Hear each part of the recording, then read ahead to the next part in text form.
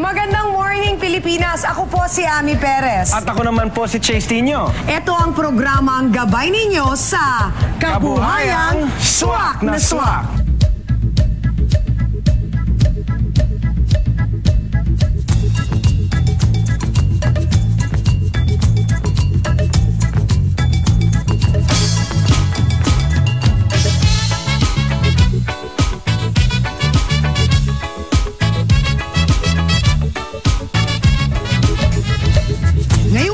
Sa Kabuhayang Swak na Swak, alamin kung anong dinadayo ngayon sa Pilipinas ng mga turista.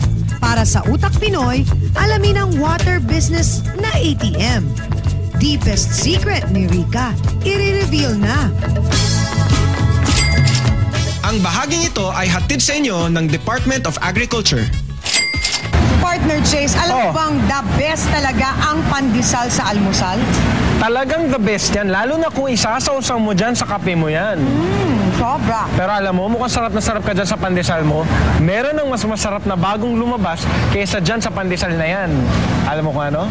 Mas masarap pa dito? Oo, mas masarap pa dyan. Hindi niya alam, no? Ano yun? Ang tawag doon, Coco Pandesal. Sa pagbabalik ng Kabuhayang Swak na Swak, deepest secret ni Rika, i-reveal na. Para sa Utak Pinoy, alamin ang water business na ATM.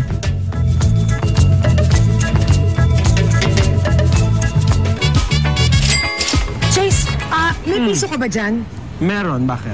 Pengi naman oh, kasi kailangan ko mag-ATM tsaka nauuhaw na ako eh. Dali. Teka muna, bakit sa ATM ka pupunta kung nauuhaw ka, may bilihan ng inumin doon? Ay, hindi mo ba alam yung latest? Yung automatic tubig machine? Ha? Aka na, dali, piso. Yan, thank you, bye-bye.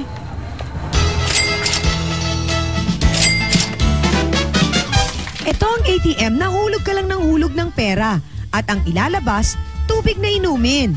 Automatic tubig machine. Aba, Pinoy yata ang nakaisip niyan.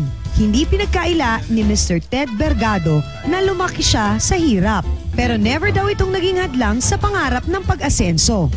Kaya naman, ang pagkahilig niya sa pagbutingting nung bata pa siya, napakinabangan niya ngayon sa pamamagitan ng kanyang nakakatuwang inobasyon. Inspirasyon kong para gawin ito ay para makatulong tayo sa lalo na yung mga mabababang sweldo rin naman. Nakatulong tayo para maging mababa lang yung presyo ng tubig.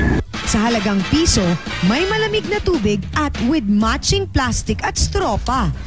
Habang ang limang galong tubig na kadalasan nabibili sa halagang 35 to 40 pesos, dito 25 pesos lang.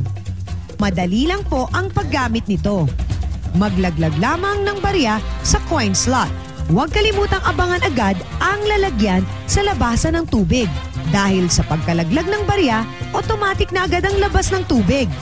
Eh kaya nga automatic, di ba? Pareho ng process. Nakakaiba lang talaga ito automatic. Saka iba rin yung dating sa customer. Parang welcome na welcome para sa mga consumer. Eh. Natutuwa sila sa konsepto na ganon. At saka, yun nga, mura.